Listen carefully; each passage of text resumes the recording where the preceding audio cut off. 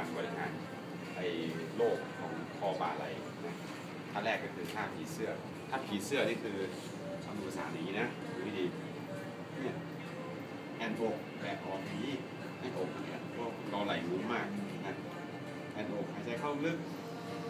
แล้วก็เป่าลมออกหู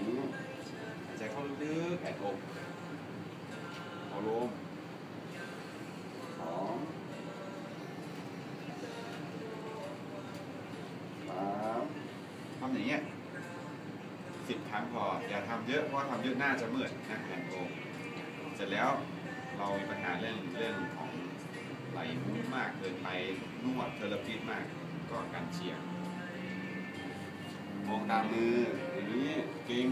ตลอดนะเก่งมืออย่างเงี้ยก็อันนี้ก็คือสิบครั้งเหมือนกันนะทำสองข้างข้าสิบครั้งฝั่งนี้บางทีเหมือนกันการเชียงตามมือ นี่นี่นี่นะกึกกึกกึกเพราะว่าไหลมันสบายนะไฟสามก็คือมันงุ้มมากแก้อีกประสานกันอันนี้นะเหยียดออกไปข้างหน้า ขึ้นชิดหูให้ได้ ชิดแล้วก็เก่งออกเก่งอย่างนี้นะแล้วก็เหมือนระบายพุงเนี่ยพุงของคุณนิมิตนี่แหละเนี่ยบายเนี่ยบายเสร็จก็ประมาณสิบครั้งก็ยกขึ้น ยกขึ้นเต็มที่เลยนะแล้วก็ลงมาบิดบิดเอาหลังแอนแบงค์หลังไงบิดอกแล้วก็สะบัดเร็วๆอ่าก็ให้มันดังกึ๊บ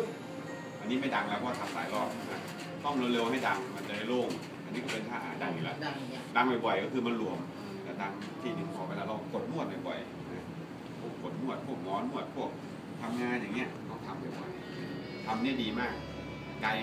ไกลโลกนะ แต่ไม่ไกลหมอนะ โอเค